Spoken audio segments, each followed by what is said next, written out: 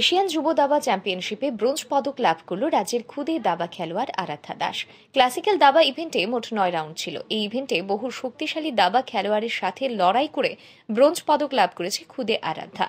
Uzbekistan Kazakhstan Sri Lanka এবং ভিয়েতনামের শক্তিশালী খেলোয়াড়দের সাথে লড়াই করে এই পদক অর্জন করে আরাধ্যা। নয় রাউন্ডের মধ্যে আরাধ্যা পাঁচ রাউন্ড জিতেছে, তিন রাউন্ড ড্র করেছে এবং শুধুমাত্র একটি রাউন্ড হেরেছে। এই নয় রাউন্ডে ছয় দশমিক পাঁচ স্কোর করে আরাধ্যা। এই ফলাফলের জন্য নিজের প্রশিক্ষকদের এবং পিতা মাতা ও নিজের স্কুল কর্তৃপক্ষকে ধন্যবাদ জানিয়েছে আরাধ্যা।